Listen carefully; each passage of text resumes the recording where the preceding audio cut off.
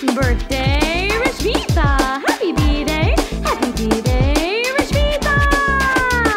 Feliz cumpleaños, Rashmita. Yeah.